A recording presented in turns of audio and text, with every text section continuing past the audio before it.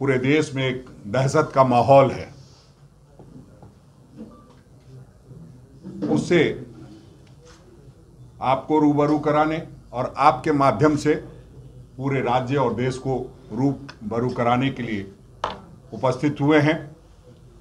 शुरुआत इस बात से की जा सकती है कि मोदी सरकार का कमाल जनता के पैसे लूटकर अडानी हुआ कंगाल। आज स्थिति देश में ही कुछ इस प्रकार की है कि आप देखेंगे तो आपको समझ में आएगा कि आज हमारी क्या हालत हुई पड़ी है और किस तरह से देश का सदन चल रहा है, संसद भवन में चर्चा हो रही है। लेकिन देश के प्रधानमंत्री आज चुप बैठे। जिस तरह से एलआईसी का पैसा अडानी के पीछे लगाया गया, उससे यह स्पष्ट हो गया कि जो हम दो, हमारे दो की बात हम कहते थे, अब दो, हम दो, हमारे दो के साथ साथ और दो जो हमारे एलआईसी और एसबीआई थे, उसको भी बर्बाद करने की योजना कुछ अपने साथियों को मदद करने के लिए इन लोगों ने बना ली है। और कल क्या हो, न हो, अगर आप देखेंगे तो ऐसा लगेगा कि शायद आपको परसों एसबीआई के तमाम एटीएम में हज़ारों लाखों की संख्या में लोग लाइन में लगे दिखाई देंगे। वो इसलिए मैं कह रहा हूँ कि जिस तरह से लगातार बाज़ार में अडानी के शेयर वैल्यूज़ गिर रहे हैं और जिस तरह से उन्होंने अपने शेयर को 43 गुना बढ़ा करके बेचने का काम किया था, और जिस तरह से ये कहा जा रहा है कि करोड़ों करोड़ का, लाखों करोड़ का नुकसान हुआ है, ये नुकसान जनता के पैसे का हुआ है। और इस नुकसान से पूरा देश, हम समझते हैं कंगाल होने की स्थिति में है। 40 करोड़ के लगभग निवेशक जिन्होंने अपनी जमा पूंजी एलआईसी में लगाई थी। उनके भविष्य का सवाल है और एलआईसी में जो अडानी इंटरप्राइजेज है, एक प्रतिशत से बढ़ाकर एलआईसी ने चार दशमलव तेईस प्रतिशत अपना निवेश कर दिया था। ये किसके इशारे पे हुआ था? आप किसी से छुपा नहीं है। जिस तरह से मित्रता दिखाई देती है प्रधानमंत्री जी को कि उसे हम कह सकते हैं कि मित्र काल के हम दो, हमारे दो देश की संपत्ति बेच दो का नारा कहीं ना कहीं बुलंद होता दिखाई दे रहा है।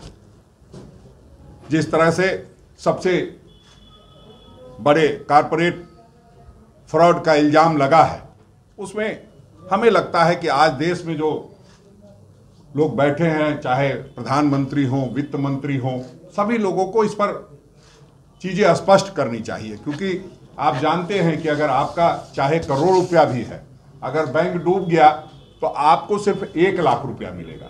ये आरबीआई का गाइडलाइन है।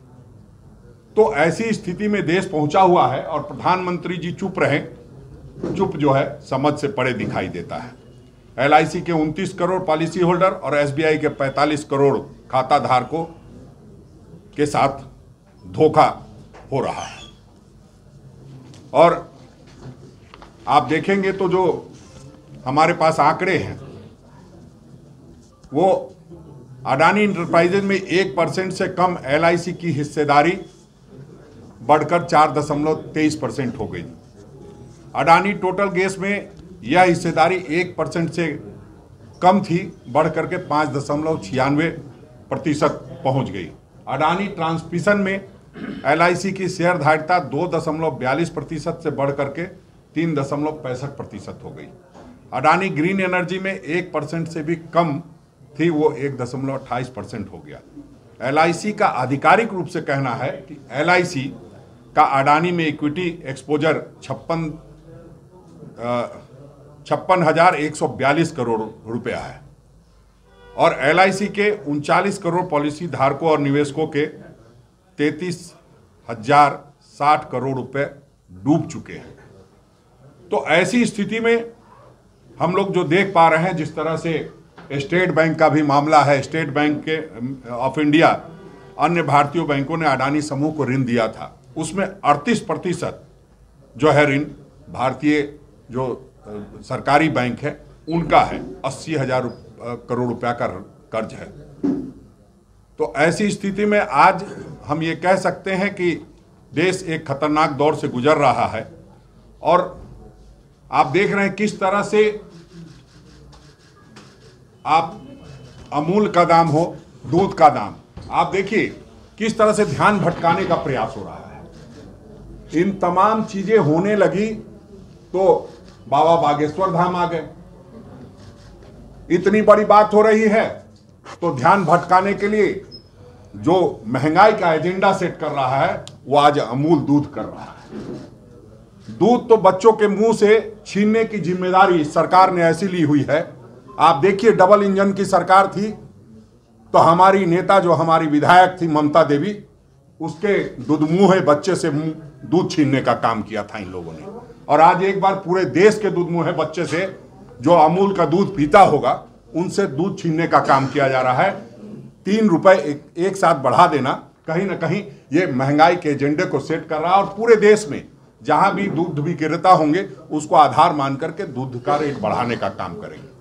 जब आपका पैसा एसबीआई में डूब रहा है, आपका पैसा एलआईसी में डूब रहा है, ऐसे समय में आप दूध महँगा करवा रहे हो और वो भी गुजरात की कंपनी से एजेंडा सेट करा रहे हो तो हम लोग क्या समझे? हम लोग यही समझेंगे कि प्रधानमंत्री जी, आपका ये मित्र काल है और कहीं ना कहीं ये लोगों को कम, कंगाल बना रहा है और आप उसकी सफ़ाई में ये बताना चाहते हैं कि ये अमृत काल है तो बिल्कुल गलत है।